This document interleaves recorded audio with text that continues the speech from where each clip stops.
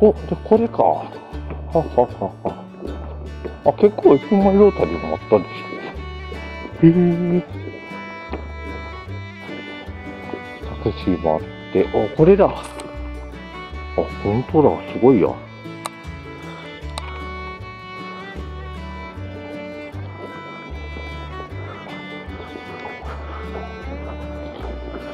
すごい。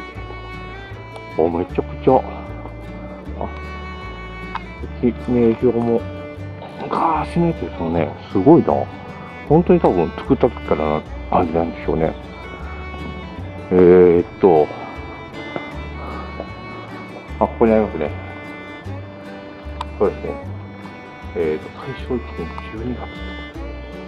大正元年なんですね。すごいですね。えー。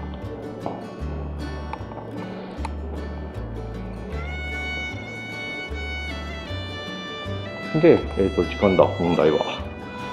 えっ、と、さっき走ってたのが、51分かな ?8 時41分、31分に来てから、9時2分、これでいいんだよな。あれ？俺間違ってみよな。えっと、30? うんがいったから、これが9時2分で、9時2分で、伊勢市に9時13分で、そうやね、9時36分の鳥羽行きやから、これやね、大丈夫ですね。ってことは、42分で、20分時間あるのか。あ、ありがとうございます。なるほどな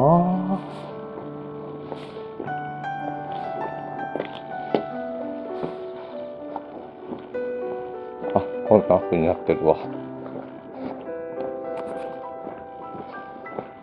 田丸城市、神谷寺、高太寺。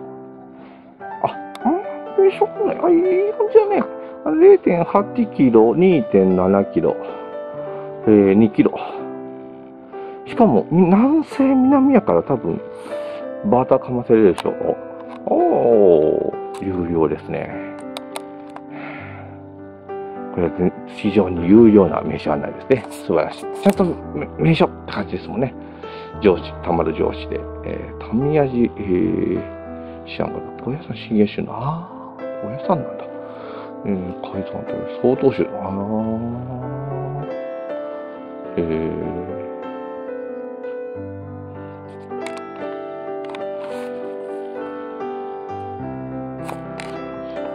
全部だなで、これはもう本当に歴史感じる感じですね。すごいなぁ。で、あれ調べてみたら、やっぱりこの前行った亀島駅、あそこが、えー、いっちゃん？あそこか、浜田は駅近いができるんですね。あすごい。あ、反対側もちょっとちょろっとロータリーがあったりして、乗れるの？あ、乗れはしないのか。ロータリーはあるけど、乗れないんだな。うん。なるほど。へえ。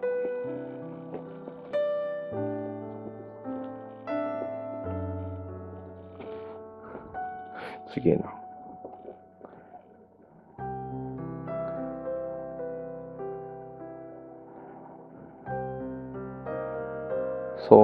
当古いのあるでしょうね、この中書き。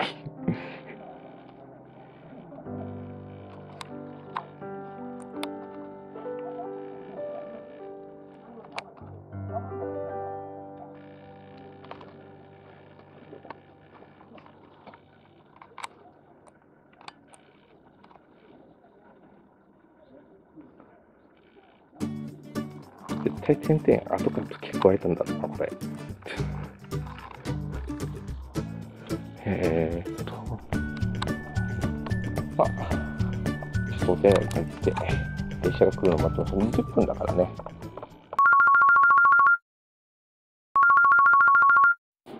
ちょっと出てますね。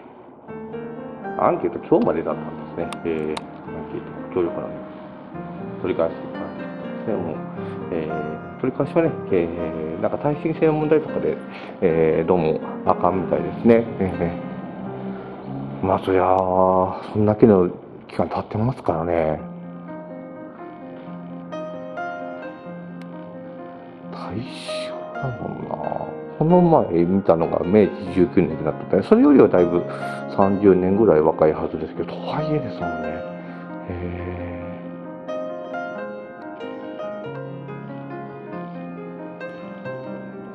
これが開業当時のあれなんでしょうね。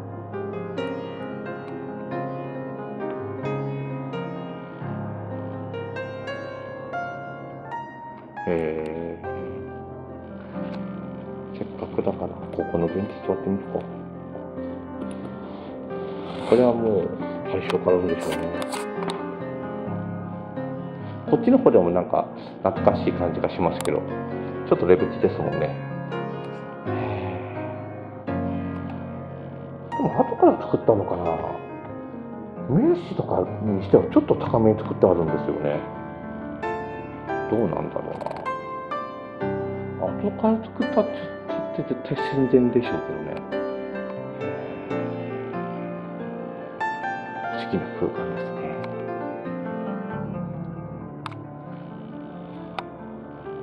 塔塔とかにすごくありますね。この辺り、あそこ、でも後からちょっと変えてるんですよね。刷新の感じがするですもんね。元からのまんまっぽそうなのは、この辺りとかが。この門あたりは、ガラスが、そうですね、もう、ガラスの材質が昔のやつですもんね。すごいな、これで、台風15号、この前のも最後、しのぎましたもんね。すごいな。ええー私だったかもしれませんけどね。すごいなこれこうやって見てみると、だいぶちょっと、住んでるのは住んでますもんね。なんだ、えー、でも、ね、町役場もすぐそこですし、えーと、あ、上司、玉上司はあっちなんだ。これ渡って行ってきたとこら辺にあるのかな。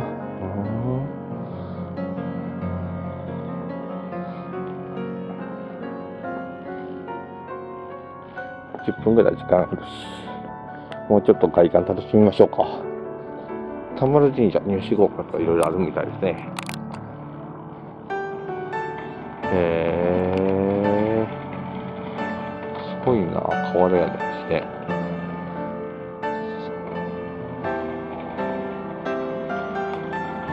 もう。NTT のこれが新しく見えますもんね、公衆電話が。あで、こんな感じで上司に、収まる上司の方、後を行く。バスなくあーか、コミュニティバスか。走っとってる感じなんですね。へえ。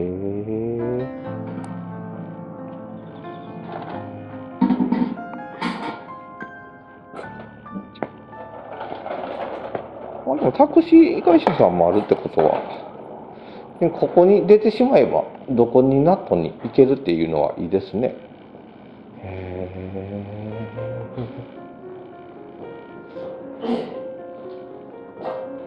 あ、おはようございます。ど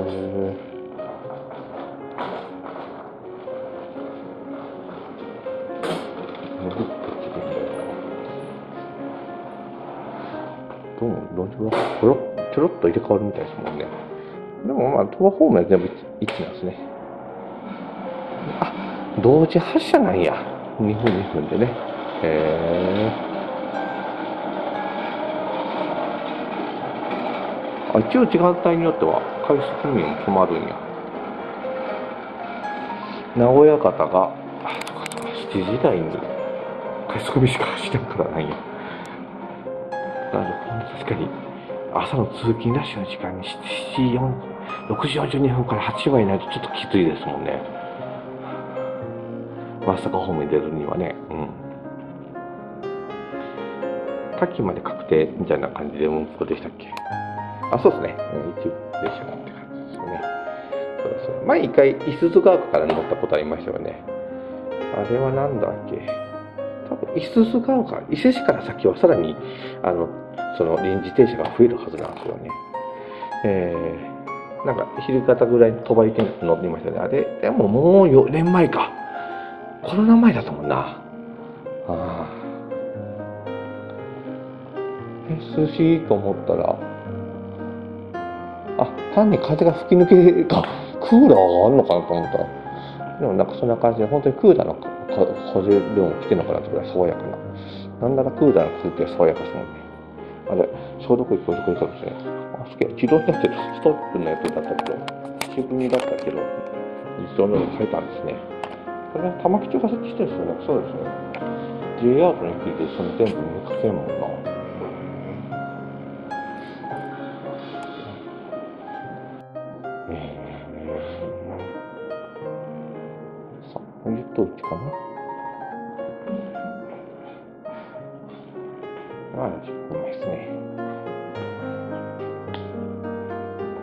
こうカーとかも、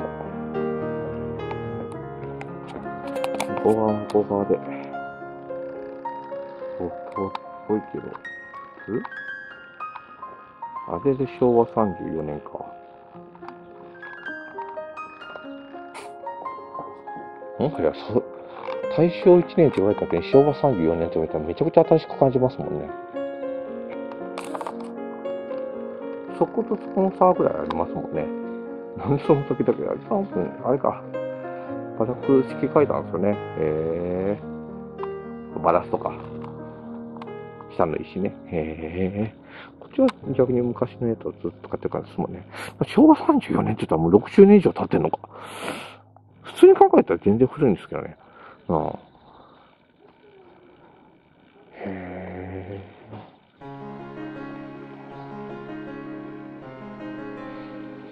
サムネイルどっちがいいかな。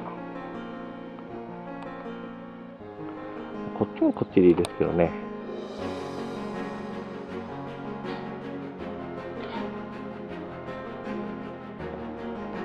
ちなみに、今はね、あ、でも4両編成の列車が古くあるのか。案外この有効値もそんな無駄ではないのかもしれんけど。ポストで7か。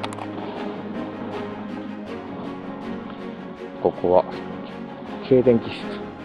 まあまあ、機動車は走らないですけど、信号設備とかのね、やつで、いりますもんね。で、構造としては、えー、鉄道的に言うと、一線スルー方式ってやつか。えー、それであってはね、あの快速三重とかを退避、通過退避するときは、名古屋方面の普通列車がこっち側に入ることもありますよっていう感じなのかな。まあ、みんな、乗る人は、あっち方面ですね。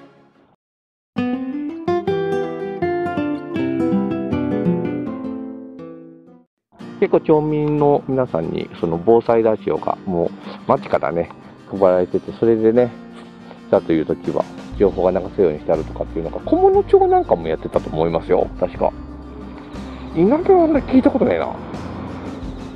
町単位でやってるっていうと小物は聞いたことがあるそういうのがある防災ラジオっていうのがありますってあの J アラートの試験放送の時とかにそれで、うんなるんで、あの、町民の皆さんお気をつけください。あのなりますよ、みたいなね。やつとかなんか、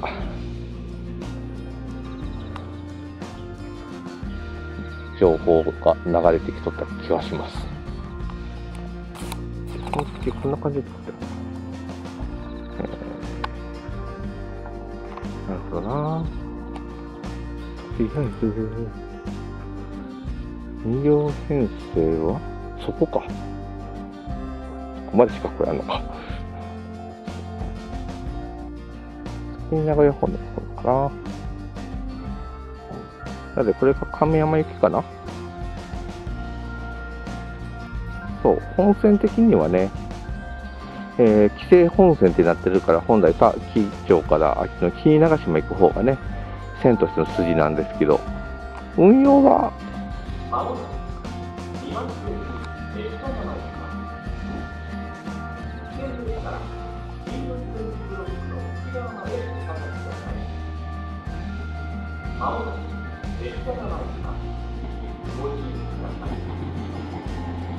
そう。これもそうね、亀山行きですもんね。はあ。いい音ですね。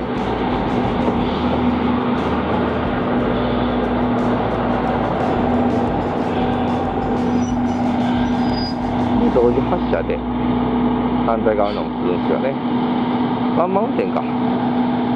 そう運用は結局、亀山、伊勢市、鳥羽方面で、三宮線の方にと直通運転するような運用してますもんねこれなんかやっぱもともとあっちの亀山からえー、鳥羽までを三宮線というふうにしていたんで、で、あっちの規制線がつながった時に鳥羽始発、あ亀山からを規制本線に変えたという経緯みたいですからね。